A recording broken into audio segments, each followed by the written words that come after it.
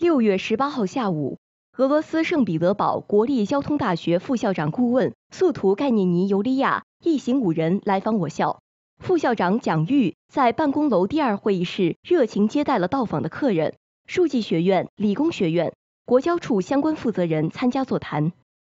蒋玉介绍了我校的基本情况，尤利亚介绍了圣彼得堡国立交通大学的情况。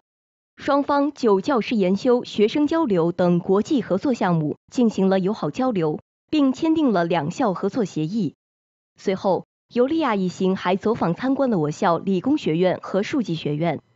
俄罗斯圣彼得堡国立交通大学成立于1809年，学校设有十个科系、十四个本科专业、七个硕士研究方向、四十八个博士专业，在校生超过一万四千人。